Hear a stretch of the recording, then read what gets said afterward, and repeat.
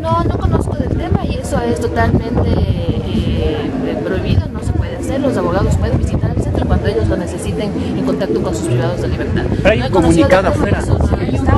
¿No? conozco del comunicado, sin embargo lo que les puedo decir es que eso no está previsto. Los abogados pueden visitar a sus privados de libertad Cualquier día. así lo decidan.